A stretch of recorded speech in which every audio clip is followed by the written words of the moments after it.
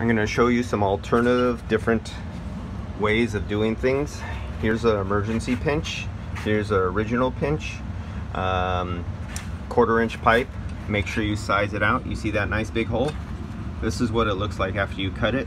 There's guys who actually use this without even burring it out. And that's an orifice. But um, this is after it's been resized. And as you can see, that has been resized. That's what it looked like when it was cut. And this is quarter inch. So that goes inside there. You now know it's quarter inch, it's the original size. So now you can stick your coupling over there or you can make your own coupling out of pipe and use your spreader and spread this out or you could go up to 5 16ths or 3 eighths and you could stick this on there and you could do something like that in an emergency and you could do a little pinch there and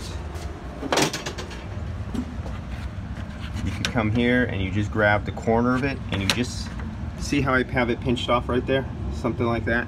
You could pinch it off like that. That's what you could do in emergency. So I'm showing you two different methods of getting you by. But the one thing you don't want hard steps on the inside.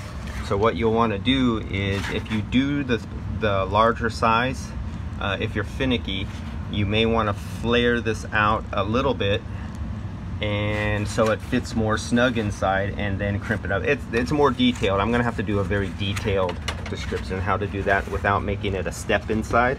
Now this one here, 5 eighths, half inch. This is OEM and they called for 5 eighths on this one. So here's a flare and you can see I took the half inch and I flared it up. I took the burr off here. I stuck the flare tool just on the inside of the lip. I only came in about an eighth of an inch and that is so when you flared up your half inch it actually hits on the inside and seals so it'll go in like that and there it stops right there and it is completely sealed all the way around on the inside but you have a little gap that will be get filled up with your silver braze right there and this whole area will be silver brazed in solid you can see where I put the little mark right there and that's for cutting it and then this will get flared and go over to the top. The flow of refrigerant is going in this direction.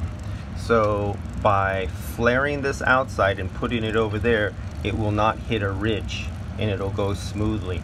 It'll go smoothly through the bend. It'll go into where I made the flare on the inside. That's on the inside of this bigger pipe.